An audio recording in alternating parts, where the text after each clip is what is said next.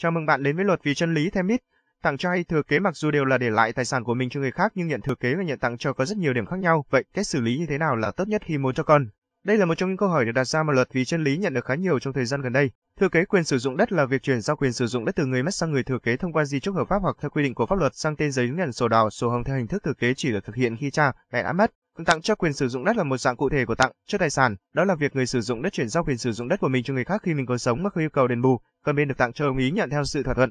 Tuy nhiên, cần sang tên giấy nhận theo hình thức tặng cho được thực hiện khi cha mẹ còn sống. Căn cứ khoản 1 điều 188 Luật Đất đai 2013, người sử dụng đất được thực hiện quyền tặng cho thừa kế khi có đủ các điều kiện sau có giấy chứng nhận đất không có tranh chấp, quyền sử dụng đất không bị kê biên để bảo đảm thi hành án cho thời hạn sử dụng đất. Căn cứ điểm đi khoản 1 điều 3 thông tư 111/2013 TT ban tổ chức của khoản 10 điều 9 nghị định 140/2016 LDCP tặng cho thừa kế nhà đất giữ ở với chồng, bố đẻ, mẹ đẻ với con đẻ, bố nuôi, mẹ nuôi với con nuôi, bố chồng, mẹ chồng với con dâu, bố vợ, mẹ vợ với con rể, ông nội, bà nội với cháu nội, ông ngoại, bà ngoại, cháu ngoại, anh chị em ruột với nhau được miễn thuế thu nhập cá nhân, địa phí các bà, việc con cái, con trai có được tặng cho quyền sử dụng đất nhà ở hay không, vừa bao nhiêu sẽ phụ thuộc vào ý chí chủ quan của cha mẹ hoặc của cha và mẹ. Như vậy, việc sang tên sổ đỏ hay cho tặng đều có những ưu, nhược điểm khác nhau, do đó tùy thuộc vào từng trường hợp cụ thể của mỗi hộ gia đình để lựa chọn phương án tốt nhất. Cảm ơn các bạn đã lắng nghe. Nếu có nhu cầu sử dụng những dịch vụ có liên quan đến tư vấn hợp đồng tặng cho hay sang tên hoặc các thủ tục liên quan khác hãy liên hệ luật vì chân lý. Thêm biết, chúng tôi rất hân hạnh được hỗ trợ.